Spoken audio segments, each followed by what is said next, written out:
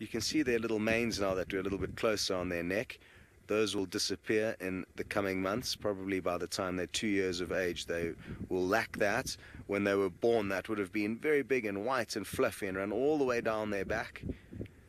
And I'm certainly looking forward to showing you guys some cheetah cubs and also spending time with cheetah cubs myself. I have not spent much time with cheetah, big or small to be honest, in my guiding career. And I'm loving the opportunity that the Masai Mara is providing all of us to get to know these awesome, awesome beasts.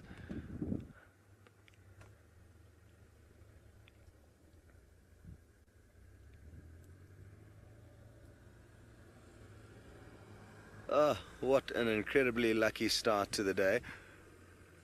I'm quite surprised to see her here, to be honest. I thought she likes to spend time further to the south of where we are, kind of around Lookout Hill.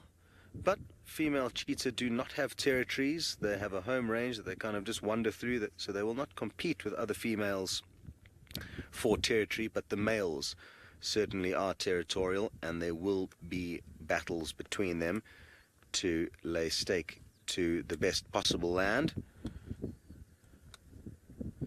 Speaking of which, the Musketeer Coalition, who obviously is a male coalition that will have a territory is in the point where they're going to actually be putting a stamp down on this property that they're moving into, on this territory that they're moving into. The last few months, I've been told we've been very lucky that they've been sp spending more time in the Masai Mara Reserve because I've been told since they arrived in December last year, they were mainly in the surrounding um, conservancies. So some very interesting stuff could happen with the cheetah in this area, the male cheetah at least, and some territorial takeovers. So maybe